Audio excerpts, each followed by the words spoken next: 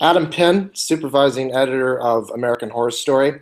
Uh, one of the most difficult things to do in any television series or film is to create suspense and to scare the audience. So, how do you, through the editorial process, do that on something like American Horror Story? Um, a lot of that is uh, pacing, um, which kind of seems obvious, but uh, it, it, really makes a big difference, um, especially with with anything really, but especially with horror.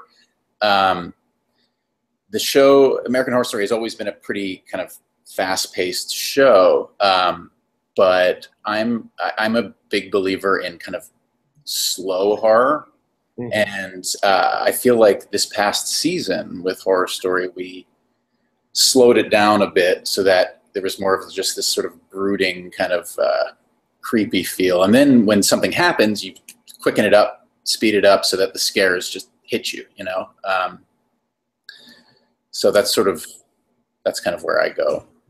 Mm-hmm. Uh, it's, it's, the pacing and the sound, really. Um, mm-hmm. Well, you've been with the show since the very beginning.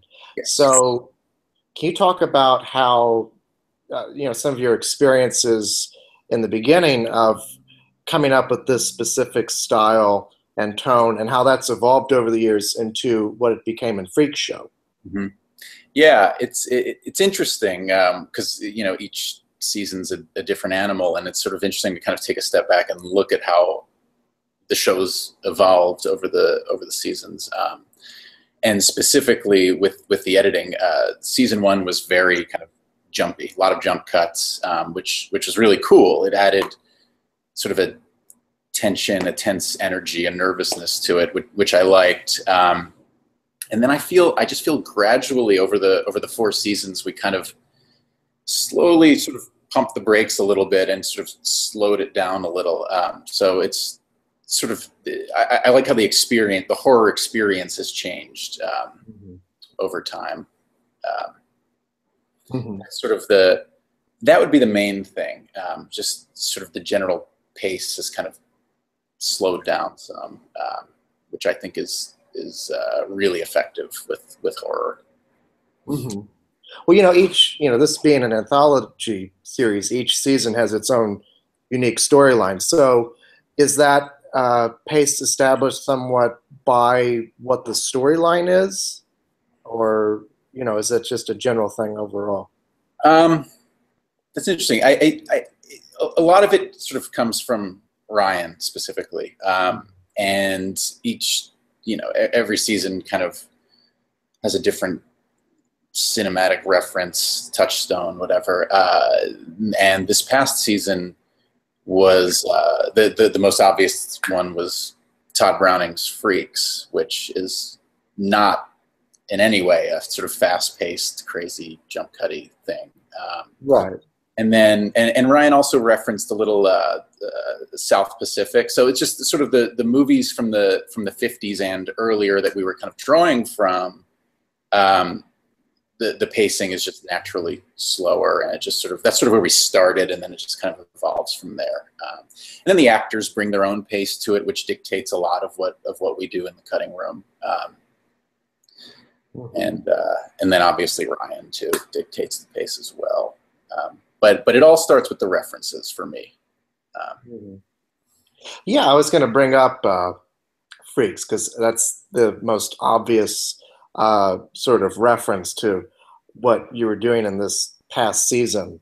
Um, so, I mean, I guess you adapted a more uh, classical editorial approach to it, would you say? Yeah, definitely. I mean, and with such an amazing location, like it's just I, I, I would just want to hold on these shots and, and drink it all in instead of you know going all chaotic and jumping around. Um, mm-hmm. So I feel like all the elements kind of lent itself to the to the pace. Right, and with that, um, you know, that footage that you get, um, you know, has there ever been a moment um, where it was a challenge for you to create uh, this suspense or to create this scare um, because maybe something wasn't there that you needed and you had to, you know, jump through hoops, as it were, or I mean, can you talk a bit about that? Uh, mostly, it's with, with, this with this season in particular. It was really kind of sticking to the the slower pace, and that mm-hmm. sometimes the the footage didn't lend itself to it. So we would have to, or particularly uh, the the first scene with with Twisty the clown when when he enters uh, enters the world. Um, it, it was shot beautifully. Sort of the Zodiac was our reference for that, um, okay.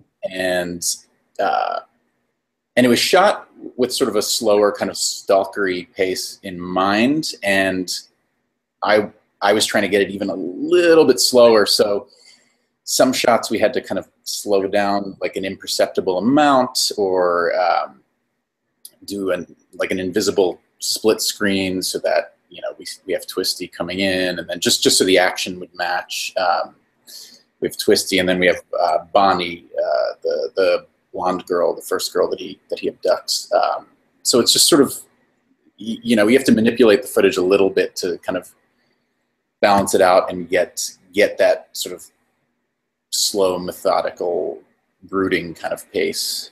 Um, mm-hmm and so it's it's sort of just making everything kind of balanced. That was that was sort of the biggest challenge, um, and and it's most obvious in Twisty because we we I, we wanted a really long you know walk up to the to the couple and you know having a picnic. Um, we wanted to sit with Twisty, hear his breathing, hear his walking, and you know just really kind of pace it out. And then when he attacks, then you just you know you hit him with quick cuts and and all of that. Um, but yeah, it was just sort of managing all of that and and crafting it to a, a pace that I felt was appropriate.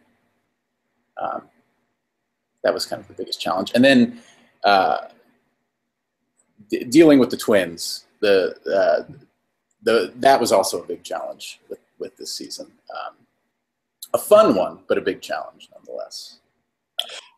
Right, because there's a lot of effects that go into that. Can you talk a bit more about that? Yeah, it's um, yeah. Everybody everybody talks about the the VFX with the twins, and and they should because it's great. Uh, but nobody talks about the editing side of it, which I'm I'm glad I get a chance to do because it, it was a real mind bender dealing with these with these twins. Um, because essentially every even if I wanted to cut to them for a reaction, every reaction shot is actually two reaction shots that actually have to interact with each other a little bit too. Um, so we really we took uh, we we would do. They they obviously shot the, both heads separately, and um, I would find whoever's whether it's Dot or Bet, whoever was kind of more integral to the scene, I would I would sort of favor them, pick their performance, reactions, whatever first, and then go back through and find the other twin and see, you know, find good looks. They would look at each other, and basically we had to do kind of an imperceptible split screen, um, just to kind of get a taste of what it's going to be like because we couldn't have the full VFX done by the time Ryan would come in to screen a cut. So just to sort of give him a taste of how it's going to play, how they're going to react. Um, with each other, with whoever they're sharing the scene with. Um, that was uh, that that was sort of how we presented it first, and then we would send it out to VFX, and then they would make it look pretty, essentially. But um, but yeah, de- dealing with dealing with a double-headed character is certainly something I've never had to do before, and probably will never have to do again. But I'm glad I but you said story, you never know. You never know what yeah. um, so what does um, you've worked with Ryan Murphy a few times? Uh, you also worked on Nip Tuck and on uh, The Normal Heart. Uh, so what does he give you as a collaborative partner uh, that helps you in the editorial process?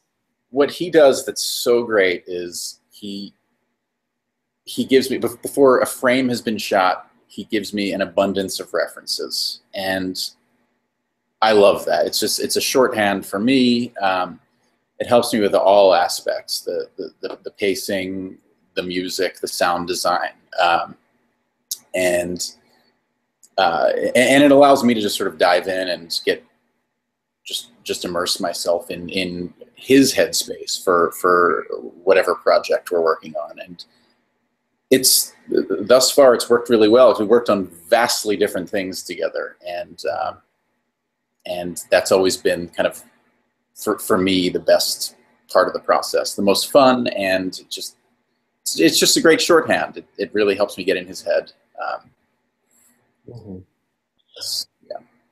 What is it that excites you about editing uh, you know they say that uh, you know things are made in the editing room and that you are a sense and the the um, the last voice to be heard on a project uh, you know, what is it that excites you about that? For, for me, uh, the, the single most exciting thing about editing is you, you literally see a piece come to life. Um, because before it, before it, the footage comes into my room, it's a bunch of raw dailies and, you know, with great performances, great shots, everything, but it's just a bunch of pieces. And you know, you cut the dailies, and that's always, you know, it's, it's, it's hard cutting dailies because um, you're not really sure what you have exactly. Then you work in some sound, work in some music, and then at a certain point, it just starts to come alive, and you sort of realize what it is, what the tone is, what just what you're dealing with, and that's always really exciting for me to kind of just see something. There, there's just a moment. I don't know at what point it, it's usually once there's some sound and music laid in, and uh, you kind of have a handle on the performances that it just kind of starts to pop. And I, I love that because then I'm the first person that gets to see this thing in the world, and that's that's really exciting. Um, so yeah, it's just a lot of fun. Well, thank you so much for taking the time to talk with me, and uh, congratulations on your work. Thank you. Thank you so much. You're welcome. Have a good day. You too. Thank you.